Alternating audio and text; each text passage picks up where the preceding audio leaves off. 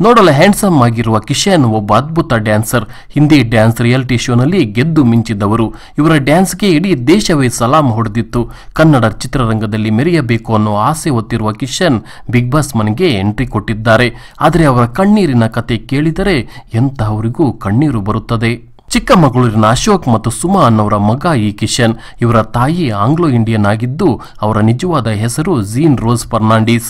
ಮದುವೆಯಾದ ಮೇಲೆ ಸುಮಾ ಎಂದು ಹೆಸರು ಬದಲಿಸಿಕೊಂಡರು. ಏಳು ತಿಂಗಳ ಮಗುವಾಗಿದ್ದ ಕಿಶನ್ಗೆ ಹಾಲು ಬಿಸಿ ಮಾಡುವಾಗ ಕೆರೆಸಿನ್ ಸ್ಟವ್ ಬ್ಲಾಸ್ಟ್ ಆಗಿ ಸುಮಾ ಅವರ ಮುಖ ಸುಟ್ಟು ಹೋಗಿತ್ತು. ಹಲವಾರು ಪ್ಲಾಸ್ಟಿಕ್ ಸರ್ಜರಿ ಮಾಡಿಸಿಕೊಂಡರೂ ಅವರ ಮುಖ ಹಿಂದಿನಂತೆ ಆಗಲಿಲ್ಲ. ಇದರಿಂದ ಡಿಪ್ರೆಷನ್ಗೆ ಒಳಗಾದರು ಸುಮಾ ಅವರು ಕಿಶನ್ಗೆ ತಾಯಿ ಎಂದರೆ ಎಲ್ಲಿಲ್ಲದ ಪ್ರೀತಿ. ಆದರೆ ತಾಯಿಯ ನಿಜವಾದ ಮುಖ ನೋಡುವ ಭಾಗ್ಯ ಕಿಶನ್ಗೆ ಸಿಗಲಿಲ್ಲ. ಕಿಶನ್ಗೆ ತಿಳುವಳಿಕೆ ಬರುವ ಹೊತ್ತಿಗೆ ತಾಯಿಯ ಮುಖ ಸುಟ್ಟು ಹೋಗಿದ್ದ ಕಾರಣ ಪ್ಲಾಸ್ಟಿಕ್ ಸರ್ಜರಿ ಮಾಡಿಸಿಕೊಂಡಿದ್ದರು. ಎಂಟನೇ ವಯಸ್ಸಿನಲ್ಲೇ ಕಿಶನ್ರನ್ನು ಡ್ಯಾನ್ಸ್ ಕ್ಲಾಸ್ಗೆ ಸೇರಿಸಿದರು ಅವರ ತಾಯಿ. ಮೊದಮೊದಲು ಡ್ಯಾನ್ಸ್ ತನಗೆ ಇಷ್ಟ ಇಲ್ಲದಿದ್ದರೂ ತಾಯಿಗೆ ಇಷ್ಟ ಎಂದು ಡ್ಯಾನ್ಸ್ ಮಾಡುತ್ತಿದ್ದರು ಈ ಕಿಶನ್. ನಂತರ ಚಿಕ್ಕ ವಯಸ್ಸಿನಲ್ಲೇ ಇವರನ್ನು ಬೆಂಗಳೂರಿನ ಬೋರ್ಡಿಂಗ್ ಸ್ಕೂಲ್ಗೆ ಸೇರಿಸಲಾಯಿತು. ಹಾಗಾಗಿ ರಜೆಗಳಲ್ಲಿ ಮಾತ್ರ ತಾಯಿಯ ಜೊತೆ ಇರುವ ಅವಕಾಶ ಕಿಶನ್ಗೆ ಸಿಗುತ್ತಿತ್ತು. ಇನ್ನೊಂದು ಕಡೆ ಚಿಕ್ಕ ವಯಸ್ಸಿನಲ್ಲಿ ತನ್ನ ಸುಂದರವಾದ ಮುಖವನ್ನು ಕಳೆದುಕೊಂಡ ಕಿಶನ್ ಅವರ ತಾಯಿ ಸುಮಾ ಅವರು ಸಾರ್ವಜನಿಕ ಸ್ಥಳಗಳಲ್ಲಿ ತಿರುಗಾಡಲು ಸಂಕೋಚ ಪಡುತ್ತಿದ್ದರು.